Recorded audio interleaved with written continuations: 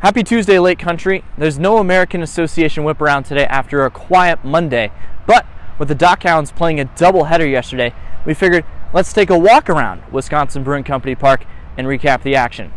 We started at home where Marcus Chiu picked up where he left off. After reaching multiple times in all three games against the Canaries, Chewy doubled in both games and reached three times in game number one. He also added yet another web gem to his terrific highlight reel at first base. Off to the pitcher's mound, and let's talk about David Richardson.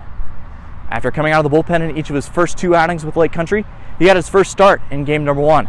He struck out just four batters in his first two appearances, but K'd six milkmen yesterday. That's a sign of some really good things to come for one of the newer hounds. Off to second, and let's talk about Dockhounds All Star Blake Tiberi, who had yet another incredible day at the plate. He walked and singled in game one, but that's not all.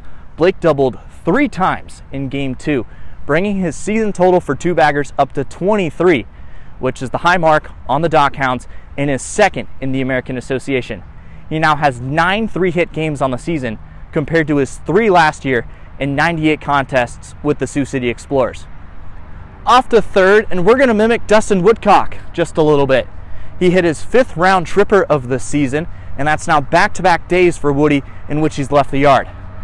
After coming off the bench in game one, Woodcock has now reached multiple times in each of his last four starts as the strong lefty outfielder looks to make a case for some more playing time.